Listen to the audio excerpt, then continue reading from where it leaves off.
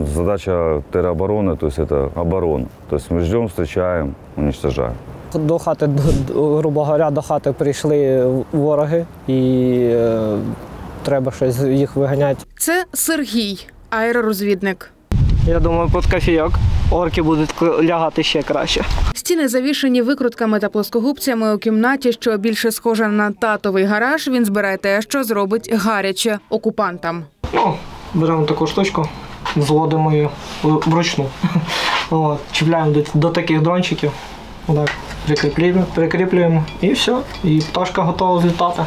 Літати Сергій каже, вчився два місяці, але спершу був у піхоті. Очима українського війська став після травми. Згадує першу ціль. Злітаю першим дроном. Получилось таке, що я не долетів. Там це реби заглушили, і він впав. Я зразу за цим вилітаю другим дроном. І другим дроном е, сподобалось те, що я долетів до, до цілі, я її вразив, і вона просто розірвала. її. Ну, це було дуже феєрично. Бути оператором безпілотного ударного літального апарату каже військовий. Це як полювання. Ти полюєш на ворога. І це як баражируючий знаряд, який е, робить бавовну з е, окупантів, які прийшли до нас. І коли ти вражаєш ціль, це, це, це захват, це ну, непередаваємо ощущення. Сергій показує за трофейну російську пташку. Саме найголовніше, що в нас тобто, постачання. В них воно є, в нас його нема.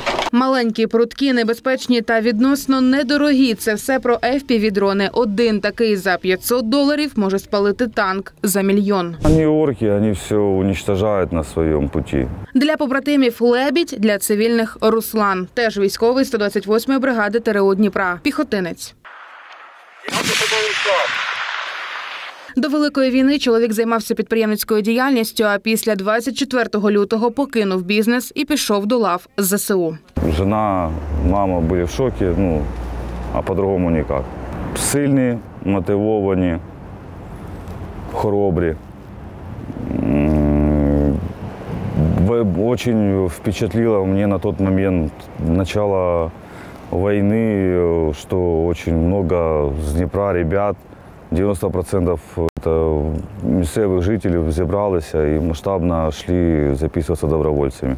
Руслан вже майже два роки боронить рідну землю на Донеччині. За виконання бойових завдань має нагороди.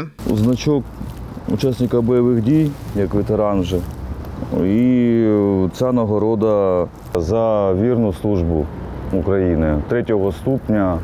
Нагорода виписана головним генералом ТРО України. Бійці 128-ї бригади ТРО Дніпра кажуть, будуть нищити ворога до останнього, до перемоги, бо на неї мають плани. Спокойствия, тишины хочется. Это в первую очередь. Ну і ця перемога очень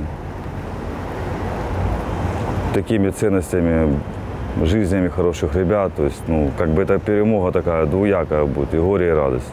Ольга Лучко, Юрій Смірнов, Open News, телеканал відкритий.